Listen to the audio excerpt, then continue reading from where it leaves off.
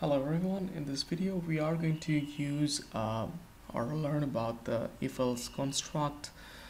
of um, the C programming language and we are going to learn it by the traditional uh, min-max uh, value, finding the min-max value among two values. So the idea is the user provides two values x and y or value 1, value 2 and we write something which says which value is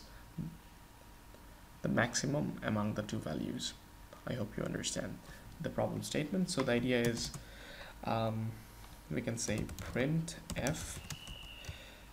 um, quotation value 1 with a space close statement then we say value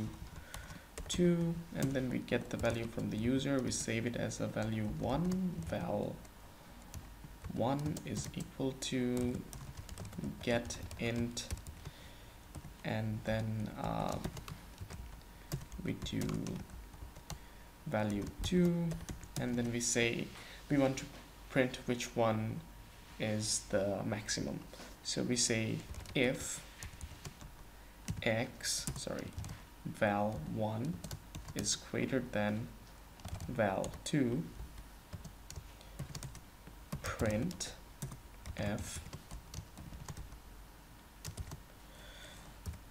is bigger than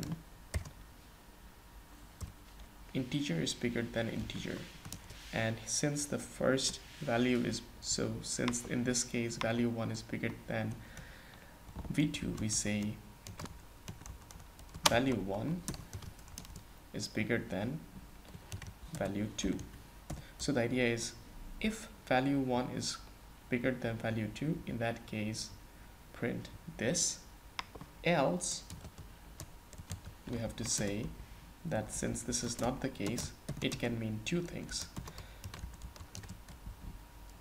Um, i is either equal to or um, bigger than I1 so here it's V2 and then we say V1 so the idea is if value of 1 is greater than V2 in that case value 1 is certainly big, bigger than value 2 else it could mean that value 1 is equal to value 2 or value 1 is less than uh, value 2 which is value 2 is bigger than value 1 so let's run this. Control R and we say the first value is 3 the second value is 2 so 3 is certainly bigger than 2 and if we run this it will return this. 3 is bigger than 2 we forgot the end statement end line command here. End line. Then run it again. We say value 5 and then say value 2 so 5 is certainly bigger than 2 so 5 is saved as val1 2 is saved as val2 and 5 is certainly bigger than val2 so it will say 5 is bigger than val2 so we do enter 5 is bigger than val2 and now let's do